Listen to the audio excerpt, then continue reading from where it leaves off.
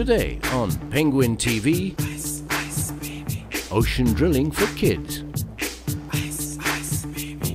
Hi, I'm Adam. Hey, I am Hank. And I am Carlota. Oh, what is this? Oh, I think it's a core. Do you know what a core is? No, what's a core? ¿Qué pasa? ¿Qué es? I don't know, it looks like it's made of rock.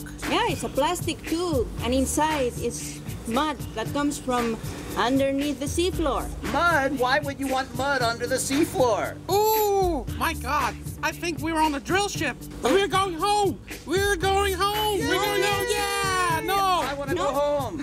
Yet, not yet. We need to study this cores a little bit before we go home.